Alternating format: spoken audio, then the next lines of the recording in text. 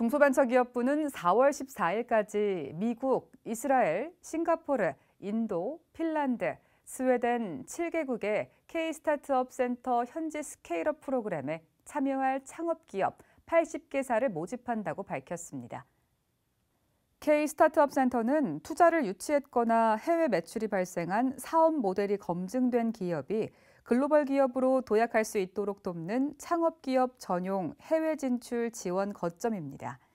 중기부는 세계 유수의 혁신 창업 생태계에 K-스타트업 센터를 설치하고 국내 창업 기업이 진입 안착하기 위해 필요한 네트워킹, 사무 공간, 시장 정보, 해외 진출 자금 등을 종합 지원하고 있습니다. 2022년 K-스타트업 센터 해외 진출 사업을 통해 창업 기업은 분야별 전문 인력, 네트워크를 갖춘 해외 창업 기획자가 제공하는 8주간의 현지 프로그램, 해외 진출 자금 6천만 원, 미국, 스웨덴, 프랑스, 싱가포르 내 사무공간 사용 등을 종합적으로 지원받습니다.